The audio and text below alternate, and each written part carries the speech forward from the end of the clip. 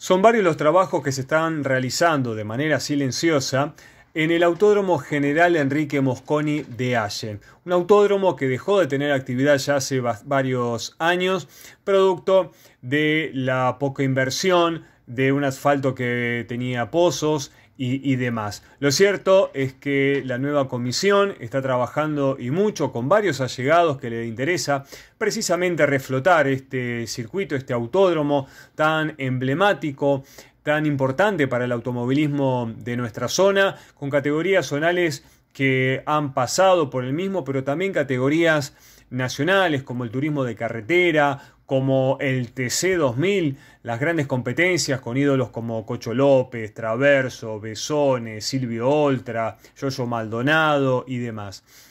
La idea es para este año tratar de comenzar con una competencia de picadas, ya que la recta principal ha sido reasfaltada, gran parte del circuito ya ha sido reasfaltado, falta pocos metros para terminar, con lo cual eh, si no es este año, seguramente el año que viene ya podrán haber competencias de automovilismo eh, regional. Lo cierto es que se está trabajando, se hizo el alambrado nuevo, se trabajó en los baños, se trabajó, como decíamos, en la pista, también en la parte de la banquina y se sigue trabajando para volverlo a la vida al general Enrique Mosconi de Allen.